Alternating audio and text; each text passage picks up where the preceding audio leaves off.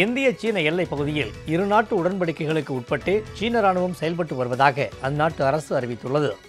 இந்திய சீன எல்லையில் பணியாற்றும் அந்நாட்டு ராணுவம் அத்துமீறி இந்தியாவுக்குள் வந்து ஆக்கிரமிப்பு நடவடிக்கைகளில் ஈடுபட்டுள்ளதாக வெளியான தகவல்கள் குறித்து இந்தியாவுக்கான சீன தூதர் சன் வீடாங் செய்தியாளர்களுக்கு பேட்டியளித்தார் அப்போது தமக்கு தெரிந்து இரு நாட்டு எல்லைப் பகுதிகளில் பதற்றத்தை ஏற்படுத்தும் எந்த சம்பவமும் நிகழவில்லை என்றும் அவர் தெரிவித்தார்.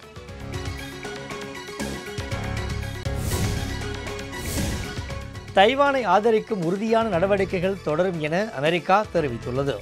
வெள்ளை மாளிகையில் பத்திரிகையாளர்களை சந்தித்த அதிபர் ஜோ பைடனின் துணை உதவியாளரும் இந்தோ பசிபிக் ஒருங்கிணைப்பாளருமான குட் கப்பல் சீனாவின் மிரட்டலுக்கு மத்தியிலும் தைவானை ஆதரிக்கும் அமைதியான மற்றும் உறுதியான நடவடிக்கைகளை அமெரிக்கா தொடரும் என திட்டவட்டமாக தெரிவித்தார்.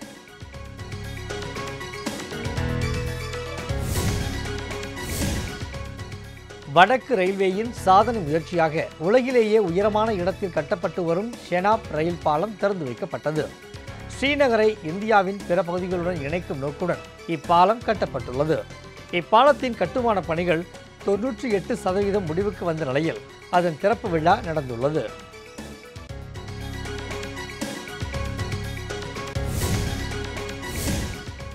பிரான்ஸ் நாட்டின் கிழக்கு பகுதியில் உள்ள ஜூரா மலைப்பகுதியில் பற்றி எரியும் தீயை அணைக்க ஏராளமான வீரர்கள் போராடி வருகின்றனர். இரு இடங்களில் சுமார் ஆயிரத்து ஐநூறு ஏக்கர் பரப்பளவில் பற்றி எரியும் தீ கட்டுப்பாட்டுக்குள் இருந்தாலும் ஒரு மிகப்பெரிய சவாலாகவே தொடர்வதாக தீயணைப்புத் துறையினர் தெரிவித்துள்ளனர்.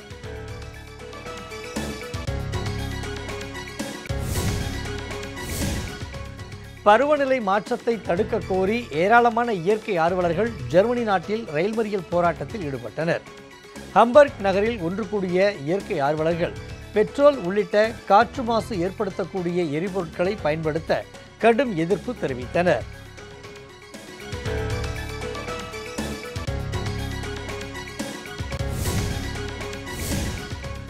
விலங்குகளுக்கு எதிரான கொடுமைகளை முடிவுக்கு கொண்டு வர வலியுறுத்தி வெனிசுலா நாட்டில் நடைபெற்ற பேரணியில் ஏராளமான பொதுமக்கள் நாய்கள் மற்றும் செல்லப்பிராணிகளுடன் பங்கேற்றனர். காரகாஸ் நகரில் ஊர்வலமாக சென்ற பொதுமக்கள் விலங்குகளுக்கு எதிரான கொடுமைகளில் ஈடுபடுவோரை தண்டிக்க உரிய சட்டங்களை அரசு இயற்ற வேண்டும் என வலியுறுத்தினர்.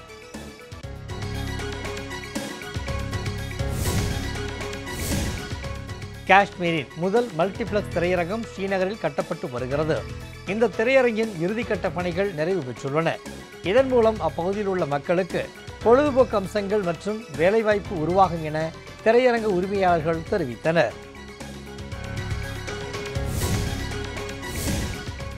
டெல்லியில் உள்ள யமுனை ஆற்றில் வெள்ளம் பெருக்கெடுத்துள்ளதால் அதன் கரையோரம் வசித்து வந்த பலரும் சாலையோரங்களில் தஞ்சமடைந்துள்ளனர். யமுனை நதியின் நீர்பிடிப்பு பகுதிகளில் பெய்யும் கனமழையால் யமுனை ஆற்றில் தண்ணீர் அதிக அளவில் செல்கிறது. அதன் முழு கொள்ளளவு இருநூற்று ஐந்து மீட்டராக இருக்கும் நிலையில் இருநூற்று நான்கு புள்ளி ஒன்பது ஒன்று மீட்டர் அளவுக்கு தண்ணீர் செல்வதால் அங்கு முன்னெச்சரிக்கை நடவடிக்கைகள் முடுக்கிவிடப்பட்டுள்ளன.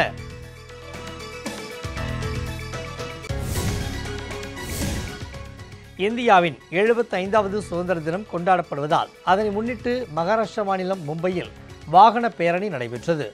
பத்து கிலோமீட்டர் தொலைவுக்கு நடத்தப்பட்ட இந்த பேரணியில் சுமார் மூன்றாயிரத்து ஐநூறு போலீசார் பங்கேற்றனர். நூறு வாகனங்கள் மூலம் தேசிய கொடிகளை பறக்க விட்டபடி அவர்கள் இந்த பிரம்மாண்ட பேரணியை நடத்தி காட்டினர். முன்னதாக இந்த பேரணியை மகாராஷ்டிர துணை முதலமைச்சர் திரு தேவேந்திர பட்னாவிஸ் நடிகர் அக்ஷய்குமார் ஆகியோர் தொடங்கி வைத்தனர்.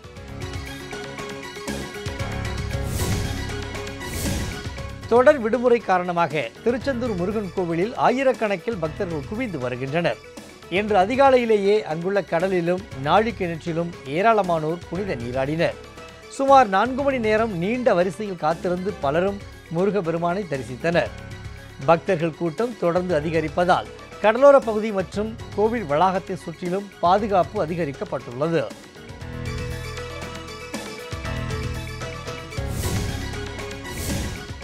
கன்னியாகுமரி மாவட்டம் அஞ்சு கிராமத்தில் காங்கிரஸ் கட்சி சார்பில் சுதந்திர தின நடைப்பயண பேரணி நடைபெற்றது.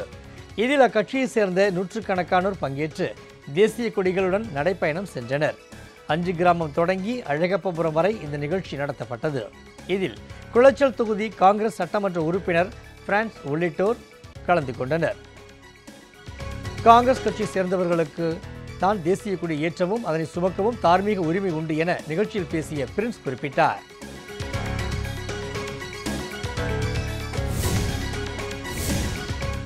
நாட்டின் 75வது சுதந்திர தின கொண்டாட்டம் தொடங்கியுள்ள நிலையில் அனைத்து மாநிலங்களிலும் உள்ள முக்கிய பகுதிகளில் மூவர்ண விளக்குகளால் அலங்கரிக்கப்பட்டுள்ளன. மகாராஷ்டிரா மாநிலம் சோலாப்பூர் மாவட்டத்தில் உள்ள உஜாயினி அணை மூவர்ணங்களால் ஒளிர்கிறது.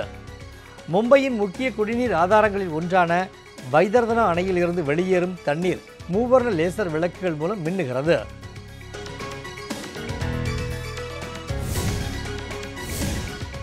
பெங்களூரில் உள்ள கர்நாடக மாநில சட்டப்பேரவையான விதான் சௌதா கட்டிடம் மூவர்ண விளக்குகளில் அலங்கரிக்கப்பட்டிருந்தது.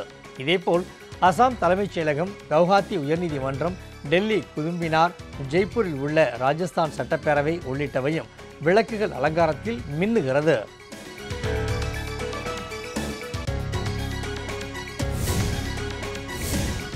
நாட்டின் 75வது ஆண்டு சுதந்திர தின கொண்டாட்டத்தை ஒட்டி சண்டிகர் கிரிக்கெட் ஸ்டேடியத்தில் நடைபெற்ற நிகழ்ச்சியில் சண்டிகர் பல்கலைக்கழகத்தைச் சேர்ந்த ஐந்தாயிரத்து எண்ணூற்று எண்பத்தைந்து மாணவர்கள் மற்றும் தன்னார்வ தொண்டர்கள் இணைந்து நின்று மனித வடிவ பிரம்மாண்ட தேசிய கொடியை உருவாக்கினர்.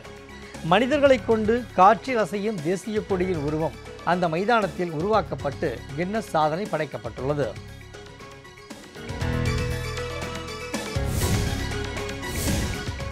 இந்தியா முழுவதும் இருபது கோடி தேசிய கொடிகள் விற்பனையாகியுள்ளது.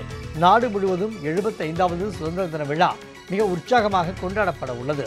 இதை சிறப்பிக்கும் வகையில் இல்லங்கள் தோறும் பதினைந்தாம் தேதி வரை தேசிய கொடி ஏற்றுங்கள் என பிரதமர் நரேந்திர மோடி அறிவித்தார்.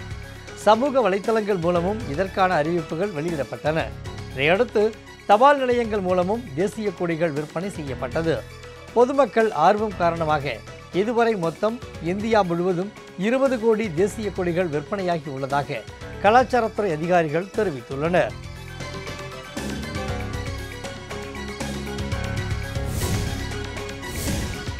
சுதந்திர திருநாள் அமுத பெருவிழாவையொட்டி நாடாளுமன்றத்தில் சிறப்பு நிகழ்ச்சிக்கு ஏற்பாடு செய்யாதது வருத்தம் அளிப்பதாக காங்கிரஸ் கட்சியின் பொதுச் செயலாளர் ஜெயராம் ரமேஷ் தெரிவித்துள்ளார். நாட்டின் இருபத்தைந்தாவது ஐம்பதாவது அறுபதாவது சுதந்திர தின விழாக்களையொட்டி நாடாளுமன்றத்தில் வரலாற்று சிறப்புமிக்க மைய மண்டபத்தில் சிறப்பு நிகழ்ச்சிகள் நடத்தப்பட்டுள்ளன என தெரிவித்துள்ள அவர் எழுபத்தைந்தாவது சுதந்திர தினத்தையொட்டி அப்படி எந்த ஒரு சிறப்பு நிகழ்ச்சிக்கும் ஏற்பாடு செய்யாதது வருத்தம் அளிப்பதாகவும் இந்த கொண்டாட்டம் எல்லாம் அறிந்த ஒரு நபரை சந்தோஷப்படுத்தும் ஒரு நிகழ்வாக குறுகிவிட்டதாக அவர் தெரிவித்துள்ளார்.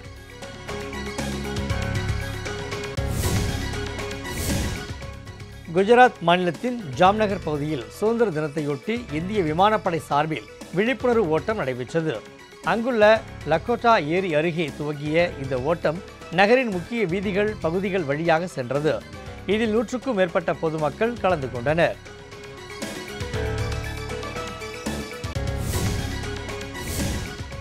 ஜம்மு காஷ்மீர் மாநிலத்தில் மத்திய பாதுகாப்பு படை வீரர்கள் ஏற்பாட்டின் பேரில் சுதந்திர தினத்தையொட்டி பேரணி நடைபெற்றது.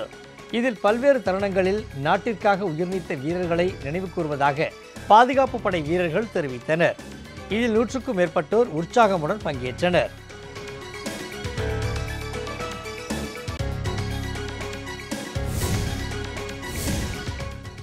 ஜம்மு காஷ்மீர் மாநிலத்தின் பலன்வாலா பகுதியில் தேசிய கொடியை தைக்கும் பணியில் பெண்கள் தீவிரமாக ஈடுபட்டுள்ளனர்.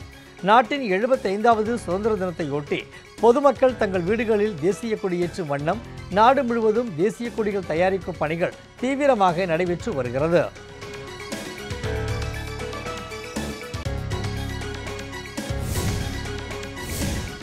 ஜம்மு காஷ்மீரின் ஸ்ரீநகரில் அமைந்துள்ள தால் ஏரியின் கரையோரம் ஏராளமான பெண்கள் நின்று கொண்டு தேசிய கொடியுடன் விழிப்புணர்வு ஏற்படுத்தினர். மாவட்ட நிர்வாகம் சார்பில் ஏற்பாடு செய்யப்பட்ட இந்த நிகழ்ச்சியில் ஏராளமான பெண்கள் கலந்து கொண்டு தேசிய கொடியை அசைத்தபடி அணிவகுத்து நின்றனர்.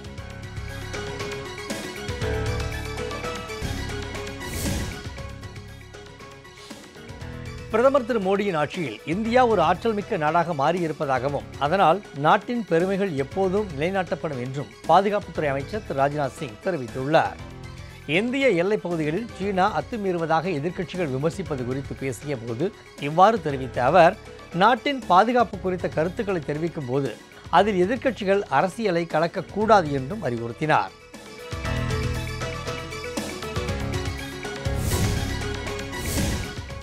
குஜராத் மாநிலம் காந்தி நகரில் பிரதமர் மோடியின் தாய் ஹீராபென் மோடி குழந்தைகளுக்கு தேசிய கொடியை வழங்கினார்.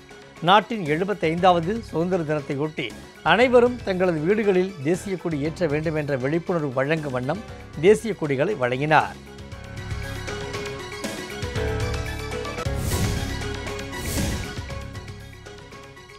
நடிகர் அமீர்கான் மும்பையில் உள்ள தனது வீட்டில் தேசிய கொடி ஏற்றினார். தனது வீட்டின் மாடியில் தேசிய கொடி ஏற்றப்பட்ட பகுதியில் அமீர்கான் தனது மகள் இராக்கானுடன் நிற்கும் புகைப்படம் தற்போது சமூக வலைத்தளத்தில் வைரலாகி வருகிறது.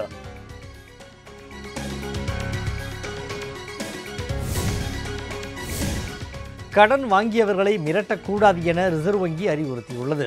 வங்கிகள் மற்றும் வங்கி சாரா நிதி நிறுவனங்களுக்கு ரிசர்வ் வங்கி வெளியிட்டுள்ள அறிக்கையில் கடனை வசூலிக்கும் முகவர்கள் எக்காரணம் கொண்டும் கடன் வாங்கியவர்களை வார்த்தைகளாலோ அல்லது உடல் ரீதியாகவோ மிரட்டவோ துன்புறுத்தவோ கூடாது என அறிவுறுத்தியுள்ளது.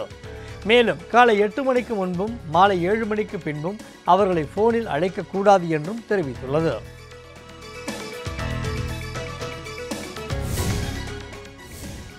காங்கிரஸ் கட்சி தலைவர் சோனியாவுக்கு மீண்டும் கோவிட் உறுதியாகியுள்ளது. அவரது மகள் பிரியங்காவிற்கு ஏற்கனவே கோவிட் உறுதியான நிலையில் தற்போது சோனியாவுக்கும் கோவிட் உறுதி செய்யப்பட்டது. இதனையடுத்து அவர் தனிமைப்படுத்திக் கொள்வார் என காங்கிரஸ் கட்சி அறிவித்துள்ளது. கடந்த சில நாட்களுக்கு முன்னர் கோவிட்டால் பாதிக்கப்பட்ட சோனியா மருத்துவமனையில் சிகிச்சை பெற்றார்.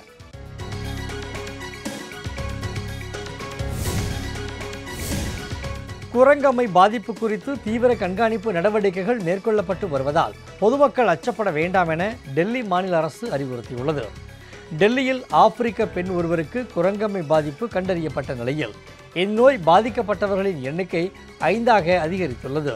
இதையடுத்து பொதுமக்களின் குழப்பத்தை போக்க மாநில அரசு இவ்வாறு அறிவித்துள்ளது.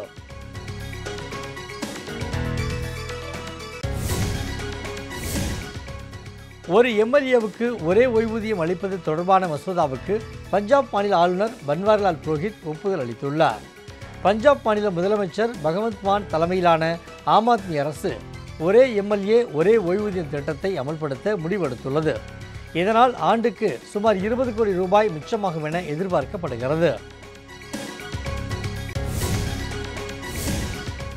மேற்கு வங்க மாநிலம் கொல்கத்தாவில் திரிணாமுல் காங்கிரஸ் கட்சியின் இளைஞர் பிரிவினர் போராட்டத்தில் ஈடுபட்டனர். சிபிஐ மற்றும் தேர்தல் ஆணையத்தை கண்டித்து திரிணாமுல் காங்கிரஸ் கட்சி சார்பில் கொல்கத்தாவில் ஆர்ப்பாட்டம் நடைபெற்றது. இதில் ஏராளமானோர் பங்கேற்று பதாகைகளுடன் முழக்கங்களை எழுப்பினர்.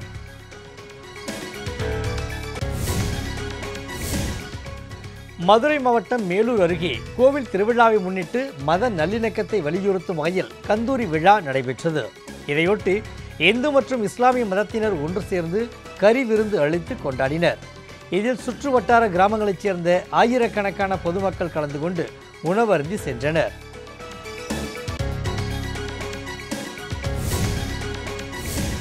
ஈரோட்டைச் சேர்ந்த பதினாறு வயது சிறுமியிடம் சட்டவிரோதமாக கருமுட்டை எடுத்த விவகாரத்தில் சேலத்தில் உள்ள ஒரு தனியார் மருத்துவமனை முழுமையாக மூடி சீல் வைக்கப்பட்டன. மருத்துவமனையில் உள்ள நோயாளிகள் சிகிச்சை மையம் ஸ்கேன் சென்டர் ஆவண பாதுகாப்பு அறை உள்ளிட்ட எட்டு அறைகள் முழுமையாக சீல் வைக்கப்பட்டன. மோசடி குற்றச்சாட்டின் பேரில் சுகாதாரத்துறை அதிகாரிகள் இந்த நடவடிக்கையை மேற்கொண்டனர். நாட்டின் எழுபத்தைந்தாவது சுதந்திர தின அமிர்த பெருவிழாவையொட்டி குஜராத்தில் இயங்கும் ஒரு இனிப்பு கடை பாதுகாப்பு வீரர்களுக்கு வாழ்நாள் முழுவதும் ஐம்பது சதவீத தள்ளுபடியில் இனிப்புகளை விற்பனை செய்ய முன் வந்துள்ளது மூவர்ண நிறத்திலான ஏராளமான இனிப்புகளை தாங்கள் தயாரித்திருப்பதாகவும் இதன் மூலம் சுதந்திர அமிர்தம் வண்ணங்களால் நிறையட்டும் என அக்கடையின் உரிமையாளர் மகிழ்ச்சி பொங்க தெரிவித்துள்ளார்.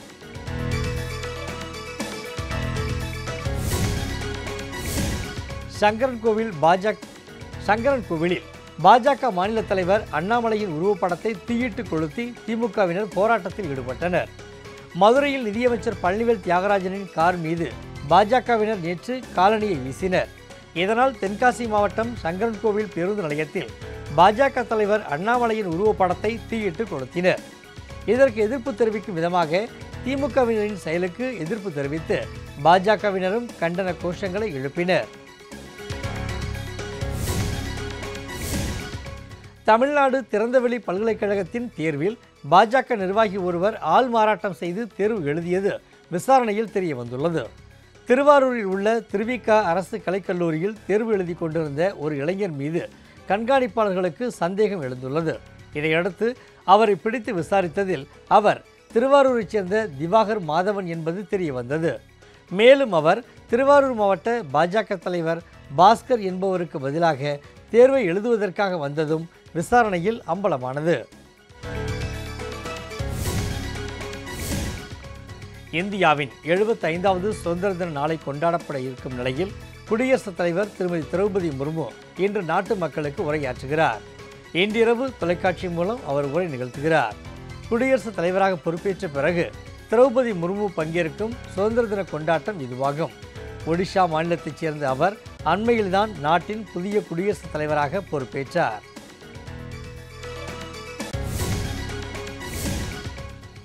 நாட்டின் எழுபத்தைந்தாவது சுதந்திர தினத்தையொட்டி பாதுகாப்பு முன்னெச்சரிக்கையாக பழனி தண்டாயுதபாணி மலைக்கோவில் தங்க கோபுரத்திற்கு துப்பாக்கி ஏந்திய போலீசார் பாதுகாப்பு போடப்பட்டுள்ளது. நாளை எழுபத்தைந்தாவது சுதந்திர தின விழா நாடு முழுவதும் கோலாகலமாக கொண்டாடுவதற்கு தயாராகி வரும் நிலையில் முன்னெச்சரிக்கை நடவடிக்கையாக பழமை வாய்ந்த கோவில்கள் ரயில் நிலையங்கள் பொதுமக்கள் அதிகம் கூடும் முக்கிய பகுதிகளில் போலீசார் பாதுகாப்பை பலப்படுத்தி சோதனையை தீவிரப்படுத்தியுள்ளனர். திருப்பத்தூர் மாவட்டம் கந்தளி காவல் நிலையம் அருகே கஞ்சா போதையில் ரகளில் ஈடுபட்ட இளைஞரை பொதுமக்கள் மரத்தில் கட்டி வைத்து உதைத்த வீடியோ சமூக வலைத்தளங்களில் வைரலாகி வருகிறது. இதேபோல் கஞ்சா போதையில் பொதுமக்களை அச்சுறுத்தும் வகையில் ஈடுபடுவதை காவல்துறை நடவடிக்கை எடுக்க வேண்டும் எனவும் பொதுமக்கள் கோரிக்கை விடுத்துள்ளனர்.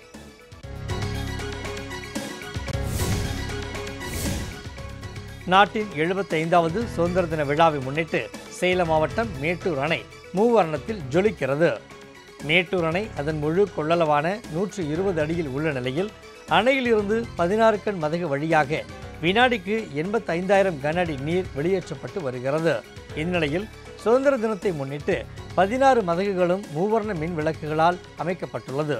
இதன் பின்னணியில் தண்ணீர் ஆர்ப்பரித்து கொட்டும் காட்சி காண்போரை கவர்கிறது.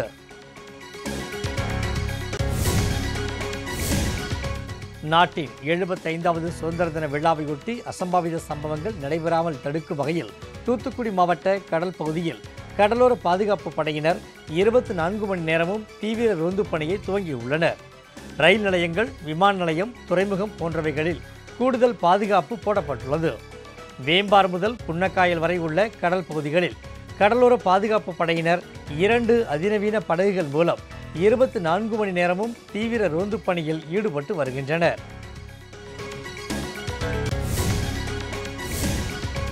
சென்னையில் தனியார் வங்கியில் இருபது கோடி ரூபாய் மதிப்பிலான தங்க நகைகளை திருடிச் சென்ற கும்பலை பிடிக்க போலீசார் தீவிர முயற்சிகளை மேற்கொண்டு வருகின்றனர்.